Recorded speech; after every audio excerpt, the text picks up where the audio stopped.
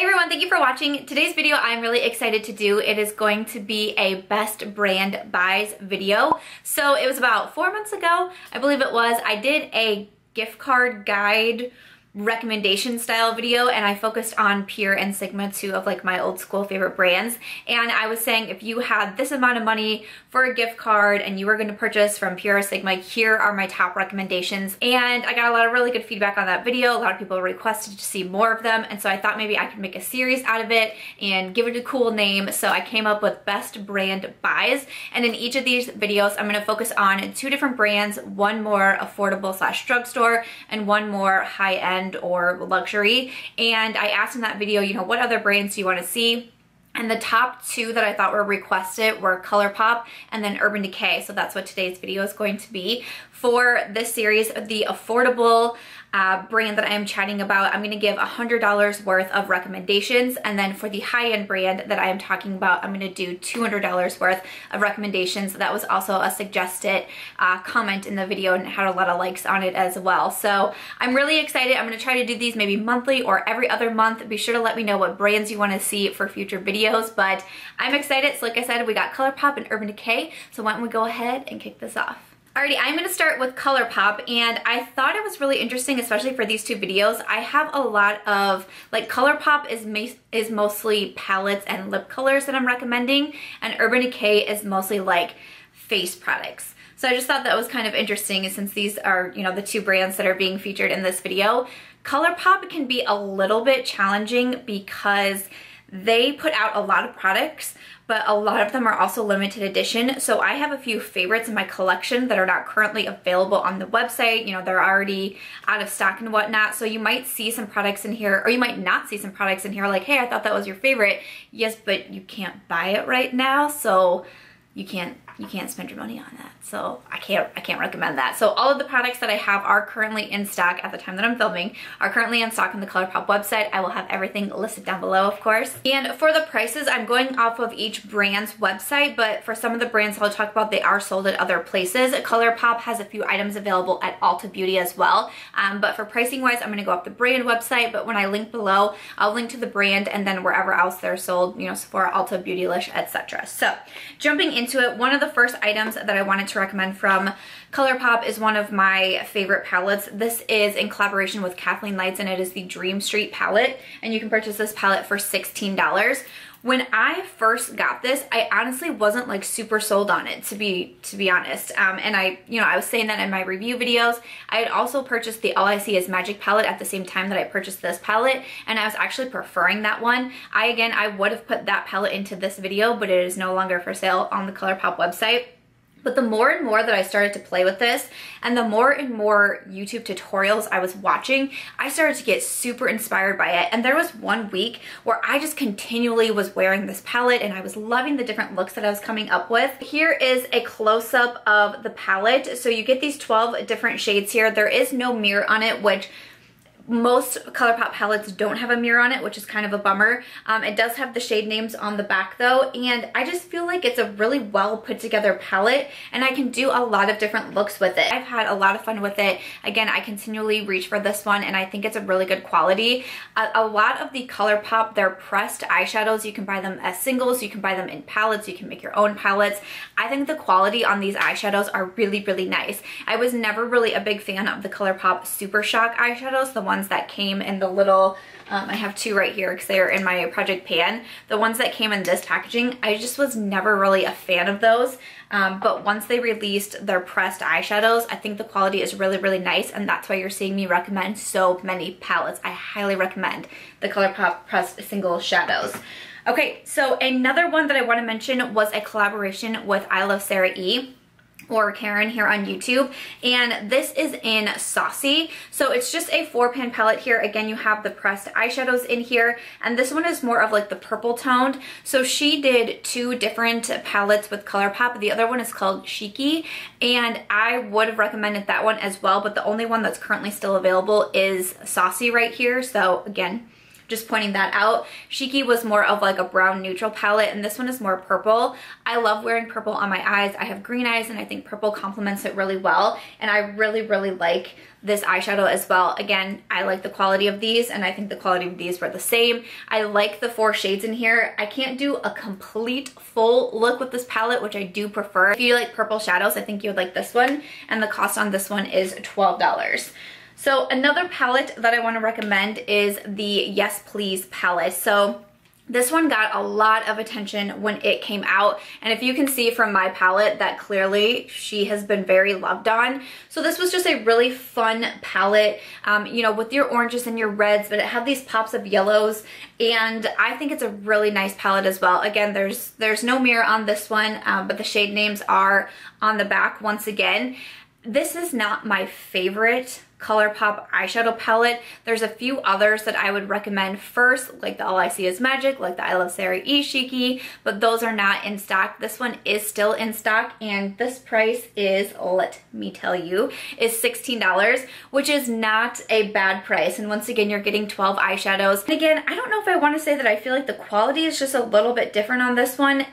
I'm not sure, but the yellow, it just takes me a little bit to build up the yellow, but once I do, I really like how it comes out. Um, just, just overall, like if I was ranking them, like so far it would be Dream Street and then it would be Saucey um, and then actually it would be a palette that I'm going to talk about next and then it would be Yes Please. That's kind of like my order that I think I would put them in, but I still really like this one. I think that there's some palettes out there that are more expensive, you know, such as the ColourPop, or I'm sorry, such as the Huda Beauty, um, her Coral Obsessions is kind of similar to this one, but it is $27 versus the 16 so kind of depends on, on your preference here, but it's still a really nice palette and it is one that I would recommend. And then the last palette that I want to chat about I kind of went I kind of went back and forth on this one a little bit because it's one of my newer palettes to me, but it was one that I could kind of tell right off the bat that I was really going to enjoy. And it's another collaboration, this one with Makeup Shayla, and it is the Perception palette. So I recently did a ColourPop haul and try on video, and that is where I have this palette. And I, you could see in that video, I was very excited for it. I felt like everything was going very smoothly. Everything was blending well. The shimmers were showing up. I didn't have fallout on my face. I was like, oh my gosh, this is great. And I thought this palette was really interesting. It's definitely like a heavier palette than the other ones that I've mentioned. It has a mirror on it, which I think is fantastic. The shade names are listed right on there if that's something that's important to you. But overall, all of these shades in here, I have not used all of them yet, which is why I was kind of like, oh, should I really put this in here? But I've tried a lot of them so far. I do have it on my eyes today as well, and I've just really been liking this palette, and I think the quality is really, really good on it. Now, this palette is $23, so this is the most expensive thing that I am recommending from ColourPop in this video, and it was another reason why I was kind of hesitant, um, but I still think it's really good. I still think I'm really gonna end up enjoying this palette. And even though it has a little bit higher of a price point, I think that you're still getting great quality out of it. Um, you're actually getting four times four is 16. Math is hard. You're getting 16 different shades in here, a great variety of shades, and a lot of these shimmers are really impressing me. Um, and I just, I, I'm really impressed with this one. So I feel, I feel okay still including it in this recommendations video. Before we move over to the lip products, I do have a highlight that I want to recommend. Ooh, this highlight, this highlight you guys. This is called Flexitarian and oh my goodness, this is such a nice highlight. Now I kind of shied away from the, they're called the Super Shock Cheek. I kind of shied away from these because obviously the packaging reminds me of those Super Shock eyeshadows and I was like, mm, I don't know, those weren't my favorites, so I'm probably not gonna do it. And once I got this one and tried it, I was like, oh girl, you were so wrong. You were so wrong. This is a beautiful highlight. It's $8 and this is what she looks like. I mean, you can even just tell before I even swatch it. Like, look at that highlight. That is so beautiful, but I will do a swatch here. It's that, it's the Super Shock formula. So when you dip your finger into it, it almost feels like wet, kind of moussey, kind of bouncy um, when you put your finger in there. But look at that highlight. It's so gorgeous. You can dot it on with your finger. Um, I don't have any problems using like one of my regular highlight brushes with this one. I think it still applies really nice. It's a beaming highlight. It has like maybe a tiny bit of glitter in it. I know that's what some people say about ColourPop highlights, but honestly, I don't really see a lot in this one, and I'm not someone who enjoys glitter highlights, so sometimes I think maybe that was another thing that was holding me back, because I feel like I've kind of heard that a lot with ColourPop, but I don't really see it in this one, and whenever I put it on, it's just like, bam, girl, I can see you. I can see you over there. I can see you over there. Oh, yeah, I can see you up there. It's beautiful. I really enjoy it and it's $8. Alrighty, so moving over to the lip colors. Okay, so for ColourPop, I think their lip liners are okay. Their lippy sticks, I had quite a few of them at one point. Again, they're okay. You know, they're more affordable, but to me it's like, they're okay, and I've decluttered all of them out of my collection. The Luxe lipsticks haven't been blowing me away, um, so I only have a few in my collection, and they were actually sent to me from another YouTuber. I haven't purchased any myself, but the ones that I want to recommend are the more regular lipsticks, and I have the Ultra Satin and the Ultra Matte lip colors in here. Now, the Ultra Mattes, they dry down completely matte. They dry down very quickly. They're a little bit more drying, but they stay on for a very long time. The Ultra Satins are a little bit more of a comfortable formula. They do still dry like pretty darn matte. I get a little bit of transfer with them, but nothing too crazy. Again, they're very long wearing, but just not quite as much as the Ultra Matte. Personally, I prefer the Ultra Satin formula, and I've purchased more Ultra Satins than I have the Ultra Mattes, but um, again, I just want to throw that out between the two formulas, and these are all $6.50 each. So I have four different lip colors here that I would recommend, and that are some of my favorites. So the first lip color that I really love is Strip. This one is an ultra satin lip and it is the first swatch here so you guys can probably tell why I love it. It's just a beautiful nude. Again, I really like the ultra satin formula. It's probably my favorite formula from ColourPop that they offer. And then the next one that I want to recommend is one of those like old school like classic ColourPop lip colors that everybody went crazy for a couple years ago and this one is in Beeper. Beeper is an ultra matte lip but the color the color is so cool. It was definitely a color, like a shade that was in a couple years ago. Everyone was trying to find this shade and they loved it so much. So it's the second one here. If you can see, it's just kind of that darker nude. It's like slightly on kind of like that grungy side that was really in for a while, but so many people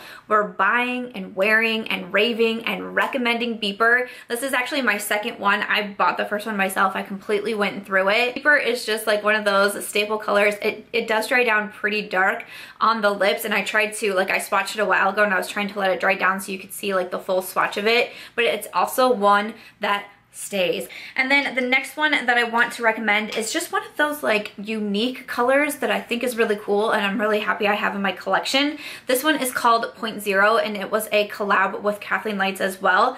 This one, ooh, it's completely worn off on my product here. I think it's an ultra satin lip. I believe this one is an ultra satin lip and this is the color right there. This one is a really interesting color and it's kind of hard for me to, to describe. It's kind of like, it's a cool tone color and it's almost kind of like that grayish color. It's like a little bit of gray. It's kind of beige. It has a little bit of nude in it. I mean, it's just, it's an interesting color and it's one of those that whenever I wear it in a video, people immediately know, are you wearing point zero on your lips? Like they don't even have to look at my description box to see the makeup I'm wearing. They know that it's point zero because it's a really unique color. The last one I want to recommend is one of my favorite red lipsticks, hands down. This is another one in collaboration with I Love Sarah E, and this is in Arriba. This is an ultra matte lip, and it is a beautiful, true red. There's a swatch of it right there. It is such a stunning red. It's one of those like, it's like a true red. It's not like a pink red. It's just a poppin' red on the lips. It looks so nice. It makes your teeth look whiter, which is fantastic. Uh, it's just a beautiful red, and again, since it's the Ultra Matte, it sticks around for a very long time, and definitely, I don't wear red lipsticks a ton, but when I do, I'm very often reaching for this one because it's just like one of my favorites. So those are the four lip colors that I would recommend from ColourPop, and then after that, those are all of my recommendations, and we came in at $101. That's not so bad. That's not so bad. $101, not terrible. So those are my best brand buys from ColourPop. And why don't we go ahead and move over to Urban Decay. Alrighty, so moving over to Urban Decay, I'm going to recommend $200 worth of products for Urban Decay. Absolute favorites from Urban Decay, and this is my holy grail concealer at this time, is the Naked Skin Concealer once I started trying this, I was like, how have I not tried this sooner? I love this concealer.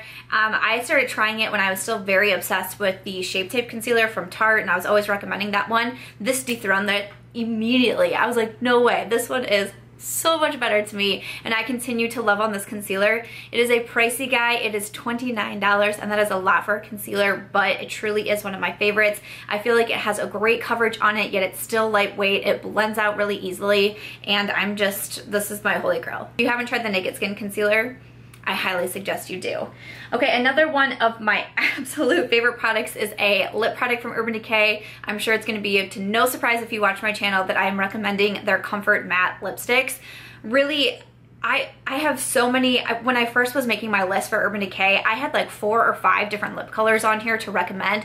Truly, I mean, it's up to you, whatever lip product you gravitate towards.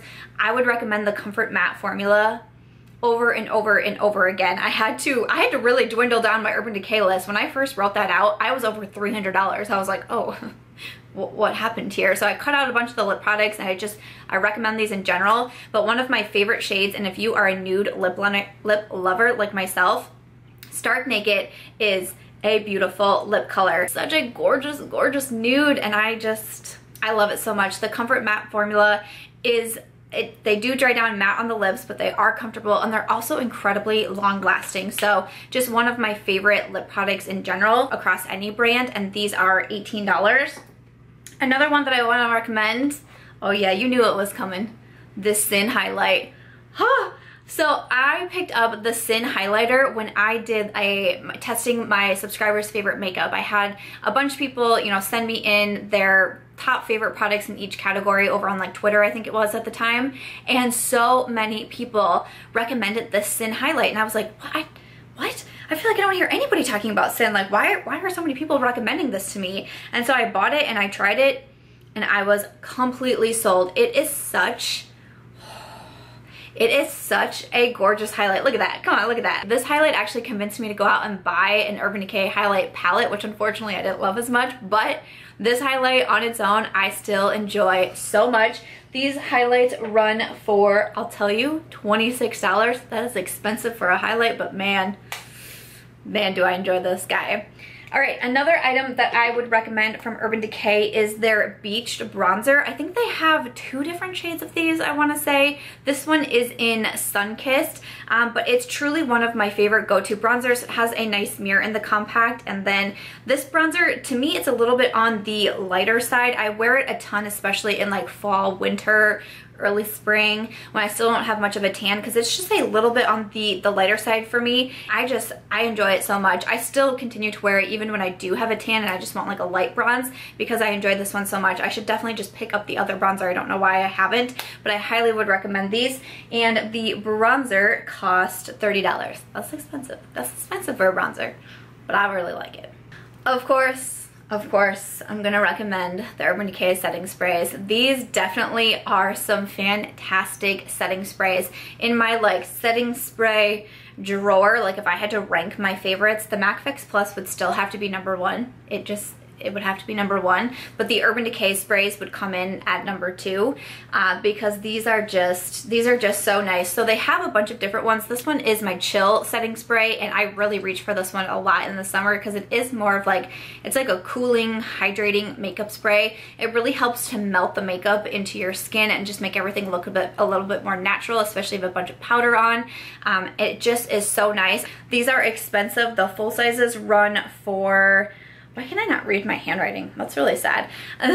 they run for $32, so they are pricey, but man, I don't want to be without these in my collection. So this is a newer product to me, but once I started trying it, I was like, that's why everybody talks about this one. It is the Urban Decay, obviously, Perversion Mascara.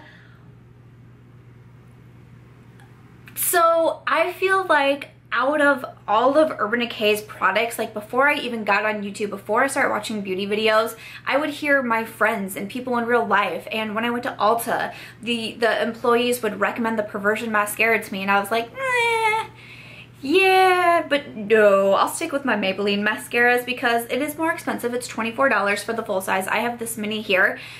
Once I started trying it, I was like, well, how why didn't I listen to my friends and those dang Ulta employees? They actually know what they're talking about. This is a phenomenal mascara. I will repurchase a full size of this or at least another mini size. Um, if you saw my latest Project Pan, I'm trying to decide if I should purchase full size mascaras or just minis since it takes me a while to get through them. But I will definitely continue to want this in my collection. It makes my lashes look so long. It gives them volume. It makes them super, super dark. I am so impressed with this mascara. If you haven't tried it yet, maybe you can get a mini of it somewhere. Um, I know I've seen it as like one of the like 100 point perks on Sephora as well. I highly suggest you try it out because man, that is a nice mascara. I also want to recommend, of course, their liners, the 24-7 Glide On Eye Pencils. I have mentioned these in favorites videos. I think these are great liners. Now, eyeliners is one of those things where like, I don't know what you need in your collection. I don't know what colors you wear the most, so I didn't want to recommend just like one color, um, but just their liners in general I think are fantastic. These run for $20, so they are expensive, but they are really smooth and creamy. They definitely live up to their name that they glide onto the waterline and they stay, and they stay for a very long time. So I have a bunch of shades that are favorites of mine. Um, Deep End, which did I grab out? Yeah, Deep End, this turquoise. I have worn in so many videos on my YouTube channel. You've seen it over and over again. Um, also, Heartless is a really beautiful light kind of metallic pink. And one shade that I've been wearing so much lately is called Stash, which is like a really cool kind of like deep green. I just think it's a really cool one, but they have so many different shades and I highly recommend these liners. So last up from Urban Decay, I do want to recommend these. I went back and forth on it a little bit, like do I really want to put that in there? But I do, but I do. And if you watch my lip picks where I go through all of the lipsticks I wore in my YouTube videos for the prior month, which I post almost daily, so it's a lot, you are continually seeing these lip glosses mentioned in that video. So that really shows me I actually really do enjoy these. I say a lot that I'm not a big lip gloss person. I love my liquid matte lips, but more and more I'm wearing more lip glosses and I'm continually reaching for these ones from Urban Decay. These are called their Hi-Fi Hi-Fi Shine lip glosses. They're $20, which are expensive. I wish they, they were a little bit more affordable, but man, they are really nice. The shade that I grabbed out and the shade that I really enjoy is Back Talk. I like this one because I can put it over a lipstick and I think that it's really beautiful, but also this one is super pigmented and I feel like I can wear it by itself as well and I have worn it by itself. Look at that. Look at that lip gloss. That's beautiful. They have the Back Talk lipstick, which had definitely made it into like my first Urban Decay list that I made. That was on there because it looks just like this, but in a regular lipstick form. But the lip gloss is also so nice. These are not sticky. Uh, they apply so well. They have a nice scent to them, kind of like a minty scent to them. These are really, really nice. I just think that they're pricey, but I would recommend them. And if you are a lip gloss person and you buy a ton of glosses and you wear them so much, I would definitely recommend checking out the ones from Urban Decay and Back Talk is probably one of my favorites. But other than that, that's everything from Urban Decay. Our total came in at $1.99, so not bad. We went a dollar over on ColourPop, a dollar under on Urban Decay. I feel like that balances out pretty well. Uh, but that is going to wrap it up for today's best brand buys. Okay, so that is everything for my best brands buys video going over ColourPop and also Urban Decay. Of course, I'll have everything linked down below. Let me know what you thought of my recommendations in here, what do you absolutely agree with, or what are some products that you would recommend from each brand as well. Let us know, of course, in the comments. I will be on the hunt for new items as well, of course, based on your recommendations. I hope that you guys enjoyed this video. I hope that you're excited that I want to turn it into a series. Let me know the two brands that you want to see next for the next episode of this series. But other than that, that's going to do it for today's video. If you guys did enjoy it, I hope that you'll give it a thumbs up. I hope that you also consider subscribing before you go, and I'll catch you guys in tomorrow's video.